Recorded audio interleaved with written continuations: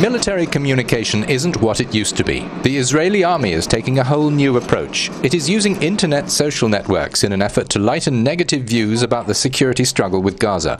In this office building in West Jerusalem, they take a softer online approach than on the front line. There, the Israeli Defense Force means armor, infantry, and gun barrels.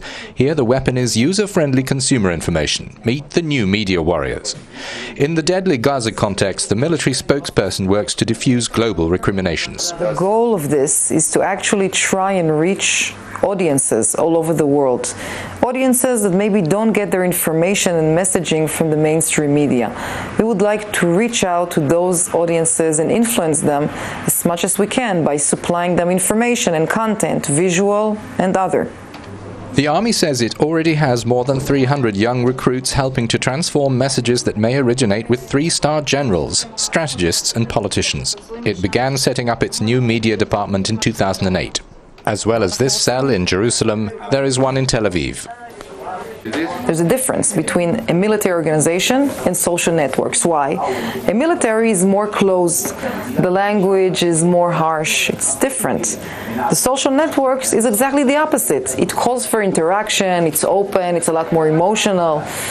But the big advantage that we have is we have people like Topaz and his friends, which are 18 year olds, and they were born to this kind of reality. This is why they can be so creative and we can benefit from their creativity. So you see, everything that comes out is um, put in English, French, and Spanish at the same time. Okay, I'll show you. Um, um, this is an example of uh, the leaflets that we bring to civilians in Gaza. This is also an example of what we do. I'm showing you, of course, the French website, as you can see, the French Facebook page. Uh, Facebook, an interface for hundreds of millions of users around the world, and YouTube. If everyone else uses these, what's to stop the Israeli government? The IDF Twitter account has more than 200,000 followers and is checked daily by foreign journalists covering this crisis. Users must judge what they see, read, and hear for themselves, of course.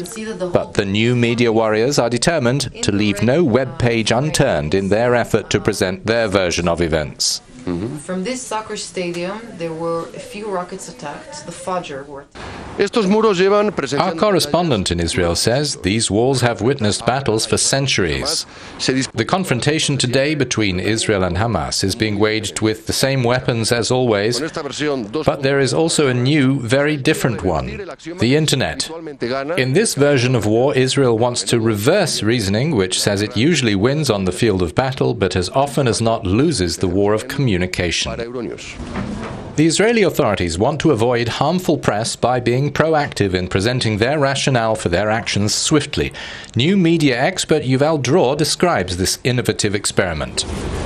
Social media has two messages. The first one, it's all about conversation. It's not a one way street, it's a two way conversation, and the IDF want to take part of it. The second one, they are cutting you. They are cutting the middleman. They want to speak directly to the audience because they believe that the middlemen sometimes do not represent the IDF story as it should.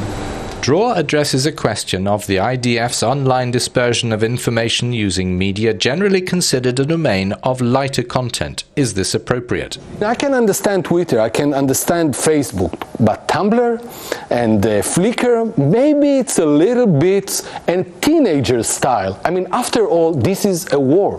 There are casualties, there are a lot of damage, and maybe there are taking it a little bit too trivialized. They are making it an everyday event.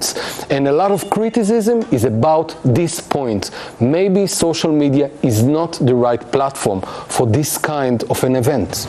Israel is constantly and acutely aware of other countries' scrutiny. The authorities hope to lessen the impact on public opinion by explaining certain decisions we haven't seen an army using in such an intensity social media and I don't think it, it's the last one because social media is the new media, is the new thing. The audience is there.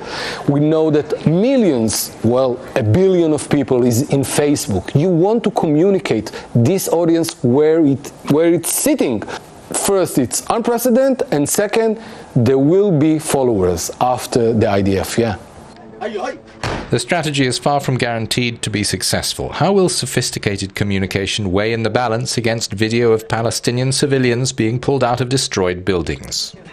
Let's take your example. There was a building, a lot of people got killed. Uh, one side of the story is look how many kids died. The other side of the story, maybe, I don't know if that is the case, but maybe there was a terrorist inside this building. And this terrorist hid in a place with civilians because he knew that the IDF would not search for him. So this is the same story, but two sides of it. And in the last time, the IDF was accused for not telling its story, for not telling the entire story. And this time, he doesn't take prisoners, quote unquote, he, he tells the story straight to the audience. Will it help? I don't know, but it's a nice effort.